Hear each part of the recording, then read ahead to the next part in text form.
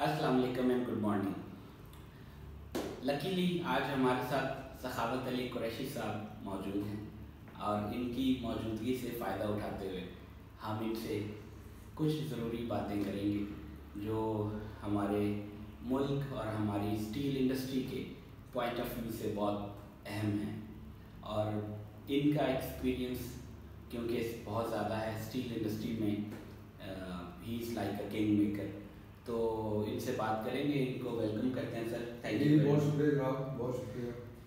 تو ہے ٹھیک ٹھاک؟ الحمد للہ الحمد للہ تو میرا سر پہلا کوشچن آپ سے یہ ہے کہ اگر ہم یہ دیکھیں پاکستان پانچ سے دس ملین میٹرک ٹن اسٹیل بنانے کی کیپیسٹی رکھتا ہے۔ دوسری طرف اگر آپ نیبرنگ کنٹری میں دیکھیں تو انڈیا میں بھی hundred million metric ton per annum بنانے کی کیپیسٹی رکھتا اور دنیا میں سیکنڈ نمبر پہ جو اسٹیل پروڈیوسر ہے وہ پراببلی جاپان ہے، جو one twenty one twenty five million metric ton steel بنانے کی کیپیسٹی رکھتا ہے۔ اور پوری دنیا میں سب سے زیادہ اسٹیل پروڈکشن چائنا کی ہے، جو probably eight hundred million metric ton cross ہو چکی ہے۔ اس سارے سینیریو میں پاکستان ایک ڈیولپنگ کنٹری ہے، کیا ایسے اقدامات کیے جائیں کہ ہم ٹین ملین میٹرک ٹن کو کراس کر کے فورٹی ففٹی پہ جا سکیں اور ہماری اسٹیل انڈسٹری گرو کرے، ہمارے پاس یہاں زیادہ سے زیادہ کنسٹرکشن ہو، جس کی بنیاد پہ اکانومی گرو کر سکے۔ یس سر بہت شکریہ جناب یہ بڑا اچھا ہے آپ نے کوشچن کیا ہے بڑی مطلب کہہ رہے ہیں، حالات، موجودہ حالات کے مطابق بڑا ریئلسٹک کوشچن ہے۔ دیکھیں، اگر آپ تھوڑا سا پاکستان کی اگر ہسٹوریکل بیک گراؤنڈ میں جائیں جب ہم نائنٹین فورٹی سیون میں ہمیں آزادی ملی، اللہ کے فضل و کرم سے، تو اس وقت پاکستان میں کوئی بھی اسٹیل انڈسٹری نہیں تھی۔ جو اس وقت کی اسٹیل انڈسٹری تھی، جیسے ٹاٹا تھی اور جنرل والے بالکل انیشیل اسٹیج پہ تھے اور کچھ اس طرح کے دو تین اور گروپ تھے، بڑے چھوٹے لیول پہ، لیکن وہ سارے انڈین پارٹ میں رہ گئے۔ انہوں نے ایسا تھا، وقت تھا، بڑا گروپ کیا۔ پاکستان میں اس وقت اسٹیل کی جو بنیاد رکھی اسٹیل کی بنیاد رکھی اس میں دو شخصیات کا بڑا اہم رول ہے۔ ایک جو پیکو کے بانی تھے جناب چودھری محمد لطیف صاحب جو کہ سی ایم لطیف صاحب کے نام سے مشہور ہے اور اور زیادہ اگر ان کی ذرا تھوڑی سادہ زبان میں دیکھیں تو ان کو لطیف صابر والا کہتے ہیں۔ اور دوسری شخصیت ہے میاں محمد شریف صاحب جو کہ یہ ہمارے پرائم منسٹر جو ایکس پرائم منسٹر تھے نواز شریف صاحب ان کے والد صاحب تھے۔ ان دونوں نے پاکستان میں ایک اسٹیل انڈسٹری کی بنیاد ڈالی۔ اور ان کے اسٹیل میں آنے کے بعد ان لوگوں کی، کیونکہ اس وقت سوچ بڑی اچھی تھی سوچ بڑی پازیٹیو تھی، انہوں نے ساتھ جو اپنے ان کے دوست احباب تھے ان کو بھی ساتھ ملا کے چھوٹے لیول کی اسٹریٹ انڈسٹری کی بنیاد رکھی۔ جس میں یہ میاں صاحب کے بڑے بھائی تھے، میاں اسلم صاحب انہوں نے لگائی، پھر اوریا اسٹریٹ لگی، پھر یہ لگی شالیمار اسٹریٹ جو آج کل ہے۔ پہلے اس کا نام نواز شہباز تھا، پھر جوید پرویز تھا، انہوں نے لگائی۔ پھر اس طرح اور نام شیخ نواز صاحب تھے والے، کراچی میں نور اسٹریٹ تھی۔ احمد انویسٹمنٹ تھی۔ یہ سارے لوگ نا ہماری اسٹیل انڈسٹری کے پائنرز میں آتے ہیں۔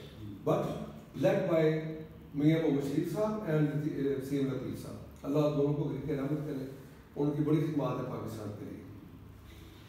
اس کے بعد اگر آپ تھوڑا سا اور آگے بڑھیں تو آپ دیکھیں کہ انہوں نے جو اس وقت کی چوائس کی، جو سلیکشن آف ٹیکنالوجی تھی، وہ بڑی اسٹیٹ آف دی آرٹ اور بڑی اچھی انہوں نے لی۔ اور وہ تھی ساری E F base electric arc space سب نے الیکٹرک آرٹ فرنس لگائی۔ الیکٹرک آرٹ فرنس کے ساتھ یہ ہوتا ہے کہ مٹیریل کی کوالٹی جو ہے نا وہ بڑی اچھی بنتی ہے۔ کیونکہ جو دنیا میں اس وقت دو بڑے کامن روٹ چل رہے ہیں اسٹیل میکنگ کے، بلکہ اسٹیل میٹنگ کے آپ کہہ رہے ہیں، وہ ایک انڈکشن فرنس روٹ ہے اور ایک الیکٹرک آرٹ فرنس روٹ ہے۔ Electric arc furnace route is known as a clearly steel making route rather induction furnace route is clearly known as a steel melting route دونوں چیزیں اپنی جگہ بڑی اچھی ہیں، لیکن انفارچونیٹلی ہمارے ملک میں انڈکشن فرنس کی جو اپلیکیشن ہے وہ ایک اچھے انداز میں نہیں کی گئی۔ جس کی وجہ سے ہماری اسٹیل کی کوالٹی بتدریج خرکی ہوتی گئی، خراب ہوتی گئی، اور ہم اسٹیل مارکیٹ سے آؤٹ ہوتے گئے۔ اور ہمارے جو انٹرپرینور جو نئے میدان میں آئے تھے، ان کو اس اسٹیل سے اتنا رسپانس نہیں ملا، اتنا ان کا جو انہوں نے پرسیو کیا تھا پروفٹ کا یا ایک انڈسٹری کا، ان کو اس لیول پہ ممکن ہے وہ ایک بوسٹ اپ نہیں ملا، جس کی وجہ سے نا انہوں نے آگے اچھی ٹیکنالوجی کی طرف بڑھ نہیں سکے۔ اس میں بڑی شدت کے ساتھ ضرورت ہے کہ ہم اپنے ملک پاکستان میں ہم واپس الیکٹرک آرفنس روٹ پہ آئیں۔ ہماری اسٹیل میکنگ کی جو کوالٹیز ہیں، جو کہ ہماری الحمد للہ ہمارے پاس بڑی اچھی کوالٹی مین پاور ہے۔ ہمارے لوگوں کا آئی کیو لیول بہت شاندار ہے۔ ہمارے انجینئرس کا جو مطلب eh, اپروچ ہے، وہ بڑی شاندار ہے۔ لیکن ان کو صرف ایک پلیٹ فارم نہیں ملتا جس دن وہ پلیٹ فارم مل گیا ہماری شانہ اسٹیل انڈسٹری بڑی تیزی سے اوپر آئے گی اور ہماری کوالٹی بڑی اچھی امپروو ہوگی۔ اور ہم دنیا کی بڑے اسٹریٹ کے جو انڈسٹری کے ملک ہیں، ان کے ساتھ ہم بڑے ایزیلی مقابلہ کر سکتے ہیں۔ کسی بھی ملک کی گروتھ میں steel is playing a very vital role آپ دنیا میں دیکھ لیں، یورپین انڈسٹری کو دیکھ لیں امریکن گروتھ کو دیکھ لیں فارس گروتھ کو دیکھ لیں۔ سبھی نے جب اپنے اسٹیل انڈسٹری پہ توجہ کی، اس کو گرو کیا، اس کے ساتھ ساتھ ملک بھی گرو ہوا۔ کیونکہ steel is known as a basic industry آپ کا اسٹیل اگر اسٹرانگ ہے تو ملک اسٹرانگ ہے۔ اگر اسٹیل آپ کا اسٹرانگ ہے تو آپ کا نیشن اسٹرانگ ہے۔ انڈیا نے بھی مطلب بعد میں یہی آگے کیا انڈیا ہنڈریڈ ملین ٹن کو ٹچ کر رہا ہے۔ Which is a very good growth ہم سب کو اپریشیٹ کرنا چاہیے۔ لیکن اگر آپ انڈیا کے اسٹیل انڈسٹری پہ نظر دہرائیں تو آپ کو ninety three ninety four percent آپ کو جو اسٹیل میکنگ ہے، وہ ساری الیکٹرک آر فرنس روٹ سے بلاس فرنس روٹ سے یا کنورٹر روٹ سے آپ کو مل رہی ہے۔ انڈکشن فرنر روٹ سے جو اسٹیل میکنگ ہو رہی ہے یا اسٹیل میٹنگ ہو رہی ہے، وہ just six to seven percent ہے۔ جبکہ پاکستان میں اس کے الٹ ہے آج کل پاکستان کے more than ninety percent industry جو ہے، وہ انڈکشن فرنس کے اوپر بیس کر دے گی۔ اور میری معلومات کے مطابق اس وقت صرف ایک ہی پلانٹ ہے۔ جو کہ کراچی میں چل رہا ہے آگر اسٹریٹ کے نام سے، جو کہ الیکٹرک کارفنس پہ کام کر رہے ہیں اور وہ دن دن گرو کر رہے ہیں ان کی اسٹیل کوالٹی بڑی شاندار ہے۔ انٹرنیشنل انہوں نے ساری سرٹیفکیشن لے لی ہے اور انٹرنیشنلی ایکسپورٹ ان کا بڑے اچھے طریقے سے ہو رہا ہے۔ تو یہ ہمیں فوری طور پہ نا ہمارے، میں اپنے جو اسٹیل انٹرپرینورز ہیں، ان کو ریکویسٹ کروں گا کہ پلیز اپنی جو اسٹیل میکنگ کی جو آپ کی ماشاء اللہ اللہ تعالیٰ نے آپ کو کیپیبلٹیز عطا کی ہوئی ہیں ان کو آپ بہتر خطوط پہ لے کے آئیں بہتر راستے پہ لے کے آئیں اور اچھے انداز میں اسٹریٹ بنائیں اور آگے گرو کریں۔ اتفاق فاؤنڈنگ جو کہ اپنے وقت کا ایک بہت شاندار سچویشن تھا۔ بہت ہی زبردست وہاں سے بڑے ہائیلی اسکلڈ وہاں پہ مین پاور ہر لیول پہ تیار ہوئی۔ ٹیکنیشین لیول پہ کرافٹمین لیول پہ سپروائزری لیول پہ انجینئر لیول پہ مینجمنٹ لیول پہ۔ بڑی اچھی ان کو گروتھ ملی۔ بڑا اچھا ان کو موقع ملا کام کرنے کا۔ اور میں نے اللہ کے شکر سے، اللہ کی مہربانی سے اٹھارہ، انیس سال میں نے وہاں گزار دیے۔ اب وہاں پہ جب میں گیا تو وہ آنکھوں سے چل رہی تھی میرا خیال ہے میری جہاں سے زیادہ اس کام کرتی ہے۔ میں جب گیا تھا تو پانچ فنڈے سے بھی پانچ منٹ کام کیے۔ تو مجھے جو پہلا پروجیکٹ مجھے ملا، وہ انہوں نے ایک نیچرلی میں فریش انجینئر تھا۔ ایک نئی ٹیم کے ساتھ بڑی ایکسپیرینس ٹیم کے ساتھ کام کرنے کا موقع ملا۔ تو پہلے مجھے موقع ملا جو پانچ ٹن کی فنڈے سے تھے نا ان کو سات ٹن کر دیا۔ اللہ کا شکر ہے، وہ سکسیزفلی ہو گئی پھر اس کے بعد دو سے میں نے اور لگائی جو کہ مجھے انڈیپینڈنٹ پروجیکٹ ملا اور that was a breakthrough in my career وہ فنڈے سے کی پھر سی سی ایم کی ایکسٹینشن کی۔ سی سی ایم آپ کا سبھی جانتے ہیں بڑا ایک امپورٹنٹ پارٹ ہے کنٹینیوس مشین کمپیوٹرس جو کہ latest state of the art technology ہے بریڈ میکنگ کے لیے۔ اور بریڈ جو ہوتا ہے وہ را مٹیریل ہوتا ہے وہ کے لیے۔ مختلف سائز کے بریڈ بنتے ہیں سب کو پتہ ہے۔ اس کے بعد میں پھر اتفاق فورٹی میں ایک نیا پروجیکٹ انہوں نے لانچ کیا فنڈس آف بی کے نام سے۔ جس میں دو فنڈسیں تھی ساڑھے بارہ بارہ ٹن کی، لیکن ایکچولی ان کی کیپیسٹی بائیس ٹن تھی۔ اور ایک فنڈ سے چالیس ٹن کی۔ دو سی سی ایم تھے، ایک چھ اسٹینڈ کا اور ایک چار اسٹینڈ کا۔ تو یہ پروجیکٹ کمپلیٹ میں نے الحمد للہ بالکل ایک انڈیپینڈنٹ کیپیسٹی میں کیا۔ نو ڈاؤٹ مجھے سینئر لوگوں کے ساتھ رہا، ان کی رہنمائی رہی۔ میاں صاحبان کا میرے ساتھ بڑا ساتھ رہا، خاص طور پہ میاں پریز صاحب کا۔ میں بڑا آدمی ان کا لیے میں دعا گو، اللہ تعالیٰ نے صحت تندرستی دے۔ میاں سیف صاحب کا ڈیلی وہ آتے تھے آ کے حوصلہ افزائی کرتے تھے، ہمت بڑھاتے تھے۔ اور ہمیں ایک نئی نئی کہہ لیں ایک جوش مل جاتا تھا اگلے دن کے لیے۔ ہم آگے کام بڑھاتے جاتے تو اتفاق فاؤنڈنگ کا جو سب سے اچھی چیز ہم نے دیکھی ہے project execution was very quick very fast میاں صاحب کہتے تھے کہ یار اگر آپ نے یہ پروجیکٹ شروع کیا ہے تو اگر اس کا ریٹری ٹائم دو سال ہے تو ان کا ٹارگیٹ ہوتا تھا یار ہم نے اس کو دس مہینے میں کرنا اور الحمد للہ دس مہینے میں یا گیارہ مہینے میں ہو بھی جاتا تھا ریکارڈ میں چیزیں ساری اللہ کا شکر ہے اس کے بعد پھر مجھے پاکستان میں مطلب کچھ پروجیکٹ کرنے کا اتفاق ہوا، جس میں موگسٹری میں نے لگائی، اس کے بعد بٹالہ میں میں نے کام کیا، پھر میں نے جناب میری شالیمار میں کام کیا، پنجاب پرکاش میں کام کیا، اورینٹ میں کیا، پنجاب سین میں کیا لسانی میں کیا۔ تو یہ سارے پروجیکٹ میں تھوڑے تھوڑے کرتا گیا، کیونکہ اتفاق ہونے میں نا وہ تھوڑے کرائسس کی وجہ سے ٹائم نہیں جاتا تھا۔ تو یہ میں نے سارے کام کی تھی پرمیشن میں یہ سب کرتا تھا۔ میں یہ جی نہیں کہ میں اپنے طور پہ جایا کرتا تھا۔ ان کی اجازت کے ساتھ کرتا تھا۔ اس سے مجھے اور ایک اور نہیں ایک لائن مل گئی۔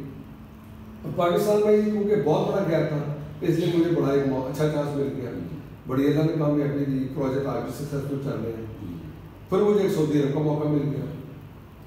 اور سعودی عرب کا جو موقع تھا وہ تو میں کہتا ہوں کہ میری یعنی میں اکثر کہتا ہوں کہ اتفاق فاؤنڈری نے مجھے انجینئر سے ایک اچھا کہہ لیں، ایک ٹیکنیکل آدمی بنایا اور ترکی گروپ جس کو میں نے میں جوائن کیا تھا، اس نے مجھے ریفائن کیا، اس نے مجھے پالش کیا۔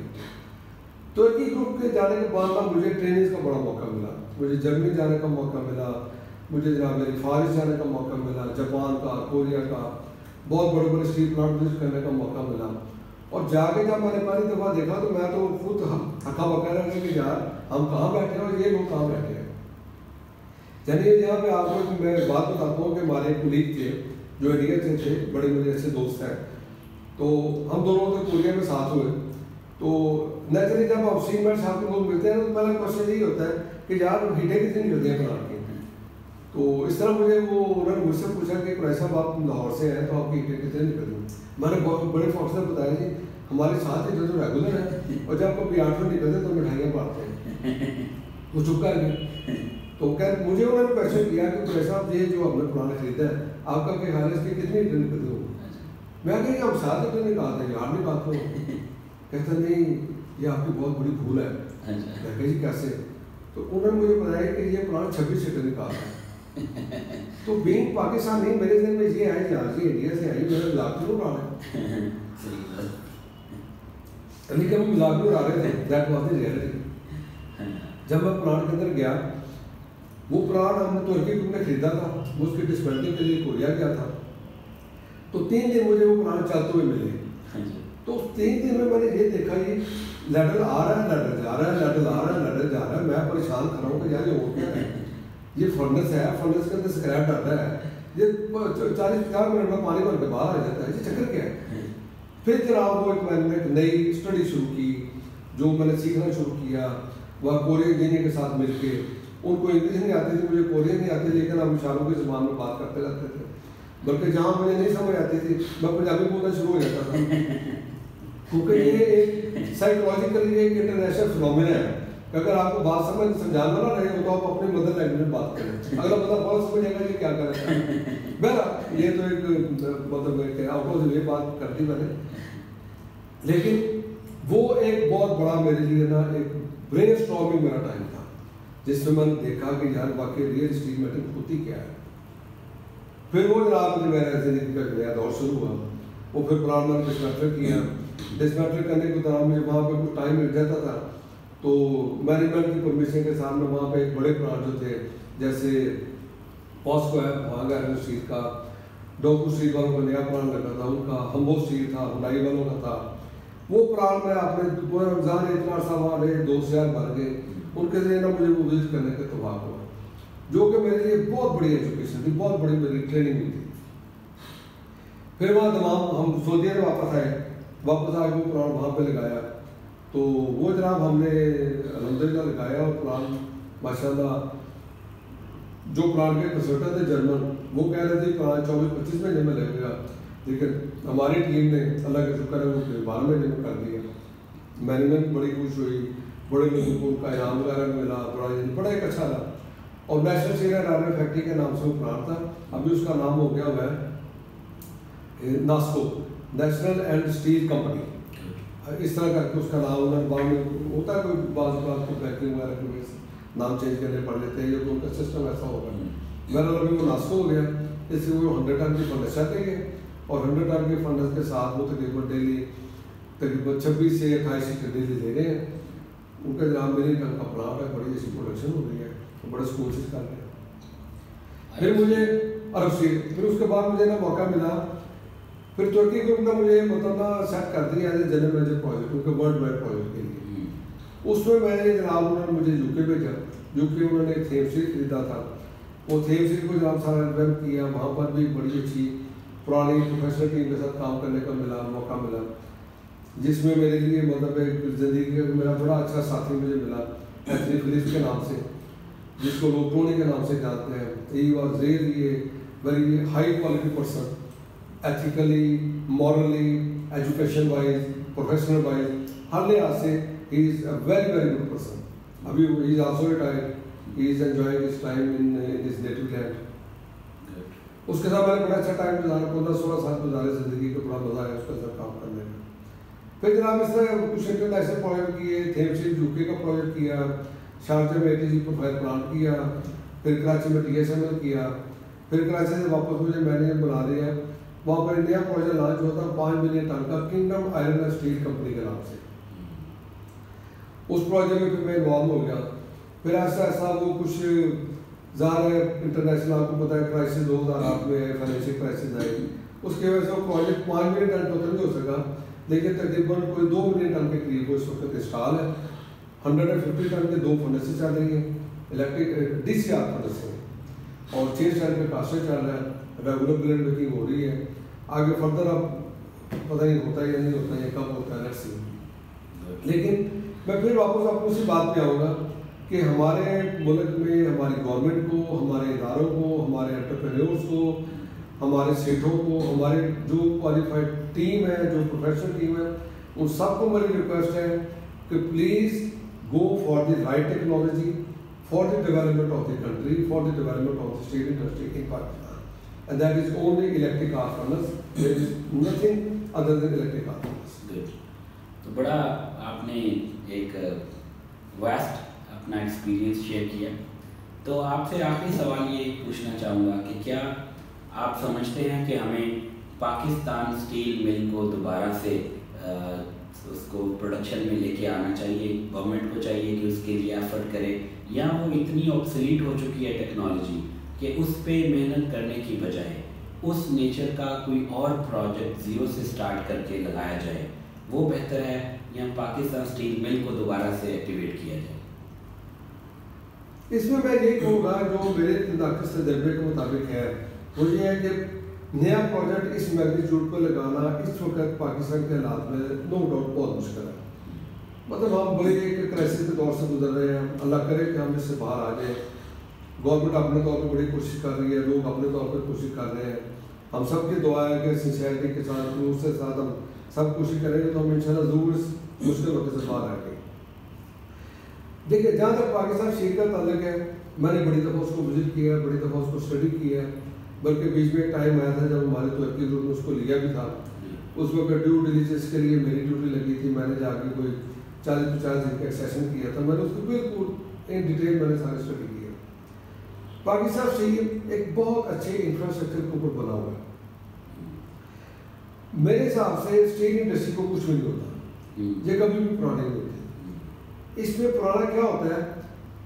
صرف نیا جو آٹومیشن سسٹم ہے جو الیکٹریکل سسٹم ہے۔ کیونکہ وہ ایک ایسا ایریا ہے جس میں ایک ریگولر ڈیولپمنٹ ہو رہی ہے۔ اگر آپ مکینیکل وائز دیکھیں تو بیرنگ آج سے سو سال پہلے بھی چل رہے تھے بیرنگ آج بھی چل رہے بیرنگ آج سے اپنا جو شاپ ہے وہ آج سے دو سو سال پہلے بھی تھی آج بھی ہے گیئر پہلے بھی تھے آج بھی ہے صرف ان کا تھوڑا سا کہہ لیں ارینجمنٹ چینج ہو گیا تھوڑا ڈیزائن چینج ہو گیا basic philosophy remains the same but electrical engineering اس میں ایک ریولیوشنری چینجز آئی ہیں نو ڈاؤٹ اس میں جو بھی الیکٹریکل انجینئرنگ کے ہمارے جو ساتھی ہیں جو سائنسدان ہیں جو بھی انہوں نے وقت کے ساتھ ساتھ بہت ڈیولپمنٹ کی ہے اسی ڈیولپمنٹ کے بیس کے اوپر میرا خیال ہے پاکستان شہید کے میکینکل سسٹم کو ریویو کرنا چاہیے۔ ریویو کرنے پہ نیچرلی تھوڑی بہت کاسٹ آئے گی۔ لیکن وہ کاسٹ جو ہے نا اگر پلان سکسیزفل چل جائے۔ تو وہ کاسٹ بڑی تھوڑے ٹائم میں ریکور ہو جائے۔ اور الیکٹریکل سسٹم کو ٹوٹل اپگریڈ کیا جائے۔ اس فارمیشن کے ساتھ اگر چلا جائے اور پاکستان شہید کو اپنی جگہ پہ لایا جائے اچھی مینجمنٹ اس کے اندر آئے۔ اچھا اس کے لیے جو بھی ہیڈ آف دی کمپنی ہے سی او ہے یا مینیجنگ ڈائریکٹر ہے چیئرمین ہے کوئی اچھا پروفیشنل بندہ ہے سیسیل بندہ ہے جو کہ پاکستان شہید کو ایک اپنا ادارہ لے کے چلے۔ سارے یہ ہمارا اپنا ملک ہے۔ اس ملک کے سارے ادارے ہمارے اپنے ہیں ہمیں ہر بندے کو اپنے اپنے لیول پہ جس لیول پہ بھی ہے ایک بڑے خلوص کے ساتھ اس کو آگے لے کے چلنا چاہیے۔ تو میرے حساب سے پاکستان شہید کو ریویو کر کے سیٹ کر کے اسی کو چلانا چاہیے۔ اس کی جب انکم اچھی آ جائے آگے نئے ادارے بنتے جائیں۔ ہے۔ اچھا۔ اس لیے میں درخواست کروں گا کہ سب کو جو جو بھی میری یہ بات سن رہا ہے میں بڑا چھوٹا سا آدمی ہوں بڑا ناقص علم آدمی ہوں لیکن یہ میری درخواست ہے کہ ہمیں اپنے آپ کو من حیث و قوم ایتھیکلی بڑا مضبوط کرنے ہے بہت شکریہ جناب یہ مجھے بات کرنے کا آپ نے موقع دیا میں بڑا مشکور ہوں اللہ تعالیٰ آپ کو خوش رکھے۔ بے شمار کامیابیت ہے اور ہمارے ملک کے لیے اچھا پاکستان پہلا بہت شکریہ سر آپ نے ٹائم بھی دیا اور اتنی اچھی باتیں کی۔ تو آج کی ہماری ٹاک سخاوت علی قریشی صاحب کے ساتھ یہیں پہ اختتام پذیر ہوتی ہے۔ پھر کسی اور دن دوبارہ بیٹھیں گے۔ کچھ۔ اور سوالوں کے ساتھ آپ سے بات چیت کریں۔ گے۔ میرا نام خرم شہزاد ہے۔ میرے ساتھ سخاوت علی قریشی صاحب تھے۔ بہت شکریہ۔ اللہ حافظ۔